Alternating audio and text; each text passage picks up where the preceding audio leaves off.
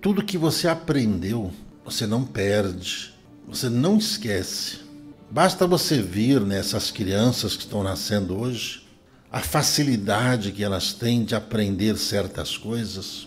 E hoje, veja só, nós vemos que a sociedade tem uma, tem um, uma dificuldade imensa para poder ajudar essas crianças. Essas crianças aprendem tudo muito rápido.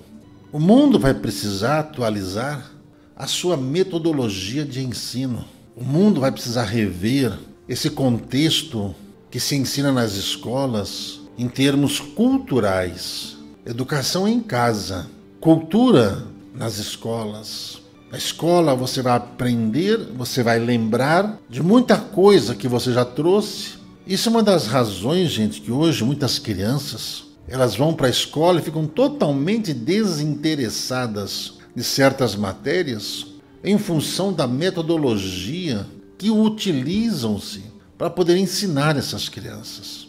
É difícil ter que fazer as mesmas matérias sempre, ao mesmo que você ser colocado para poder aprender o beabá.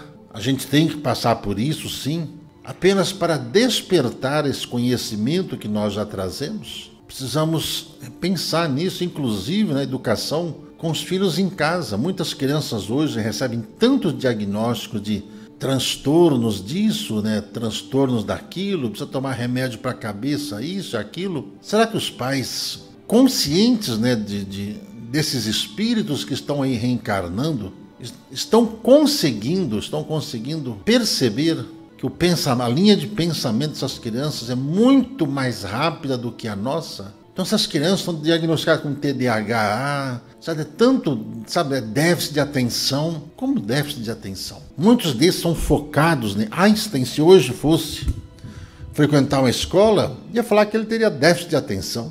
Nikola Tesla, a mesma coisa.